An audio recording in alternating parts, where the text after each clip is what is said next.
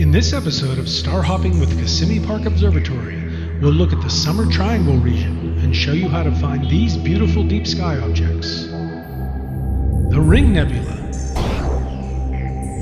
the Dumbbell Nebula, and the globular cluster Messier 15. All right, let's go star hopping.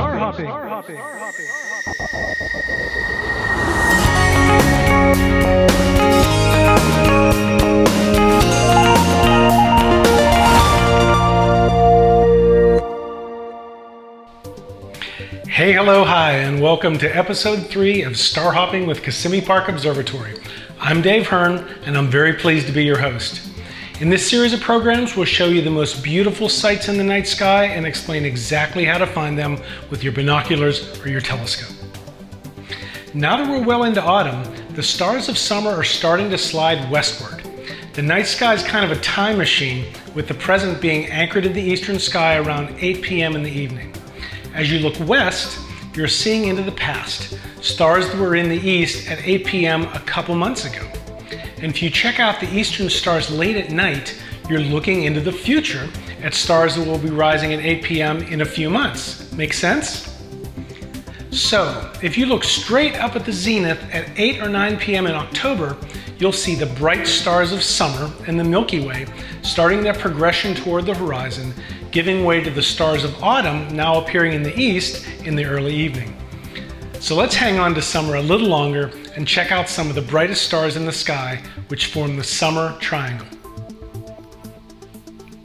So while locating this set of deep sky objects for this episode, you'll be straining your neck to look straight up. Very possibly a chaise lounge might be in order. In the early evening, directly above you, you will see three very bright stars. Vega in the constellation of Lyra the Harp, Deneb in the constellation of Cygnus the Swan, and Altair, the brightest star in the constellation of Aquila the Eagle. This trio of stellar beacons that rise in the east in June and July form the famous Summer Triangle. Summer skies hold lots of star clusters and nebulae associated with the Milky Way. Nebulae can be found in several types based on the point in the life cycles of the stars that are associated with them. When nebulae contain newly formed stars, they glow, excited by the radiation of the stars within them. These are called emission nebula because they emit light themselves. As the stars grow older and finally use up their internal nuclear fuel, other nebulae are formed when a star expels its outer shell as it approaches the end of its life. These bubbles of gas around these dying stars often appear round, and in a telescope, they sometimes look like a planet. For these reasons, these types of objects are called planetary nebulae. We'll be locating two famous planetary nebulae which lie inside the Summer Triangle, and the most famous is the Ring Nebula in Lyra. The ring is also known as Messier 57, and it's our first target for this episode. So let's have at it, shall we? A nice bright star is great to use to start a star hop, and for this one, we use Vega at the top of the constellation of Lyra. Vega is a brilliant blue hot star and is the fifth brightest star in the sky, and it will be glorious to see it as it dances in your telescope's eyepiece. So now that we're here, I would be remiss in my duties if I didn't at least mention the star just to the left of Vega, which is Epsilon Lyrae, also known as the double double. This apparently single star to the naked eye resolves into two double stars, really actually four actual stars when looked at in a moderately sized telescope with very high power. So don't miss it while you're in the neighborhood. So in our search for the ring, we'll move down from the blinding star Vega about 2 degrees to Zeta 1 Lyrae. Next we move about 10 degrees downward to the star Sheliak. About 2 degrees to the left of Sheliak is another star about the same brightness named Sulafat. This pair is easily seen and outlines the base of the harp. So now we're close to our target. Looking with your telescope exactly halfway on the line between these two stars, you will spy what appears as a small ghostly smoke ring. Put in a higher magnification eyepiece, say 100 power, and you'll recognize the famous Ring Nebula. This one is a big hit at an observing session with kids. I tell them I'm going to show them a smoke ring, and I love to see the reactions when they see it in the scope. So like most planetary nebula, the ring requires a little magnification to see it properly. Our next target is much larger, and it is known as the Dumbbell or the Apple Core Nebula, in the faint constellation of Vulpecula, the Fox.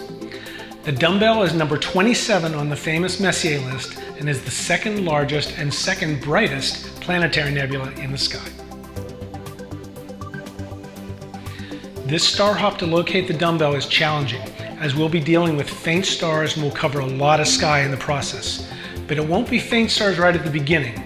We'll start at the brilliant star Altair, the second point of the summer triangle and the 12th brightest star in the sky. So let's do it. From Altair, let's make our first move to Tarazed, an orangey star about 2 degrees to the upper right from Altair. Now the going gets tough, and you'll need a relatively dark sky to be successful with this one. Looking about 7 or 8 degrees toward the zenith, you'll hopefully see the faint constellation of Sagitta, the arrow. It is made up of four main stars, two at one end that forms the feathers, a center star, and then another star which represents the tip of the arrow. This tip star is Gamma Sagitta and is where we want to move our scope next. The next star is even a bit fainter. Let's move the scope to 12 Vulpecula, about 2 degrees to the upper right. Now we're getting close, but there's still a ways to go in our search for M27. At a little less than 90 degrees to the left, and about 3 degrees away lies the star 14 Vulpecula. From 14, make a hard left about 2 more degrees and the ghostly dumbbell nebula will appear in your eyepiece. Phew! Don't worry, after you go through this process a few times, it'll be easier to locate. It just takes some practice. The dumbbell is a beautiful object in astrophotos like this one taken with the KPO reflector. Ready for an easier and brighter object? Yeah, I thought so. A couple episodes ago, we looked at M22 in Sagittarius, a globular cluster. Today's last target is also a globular, M15 in Pegasus. This one is also near the zenith, so your scope will be pretty much pointed straight up when you find it. Let's start from the lower right star in the great square of Pegasus, named Markab. To the right of Markab, there are three fairly bright stars, each about 10 degrees apart, successively named Homam, Baham, and then to the upper right, Enif. Make your way to Enif.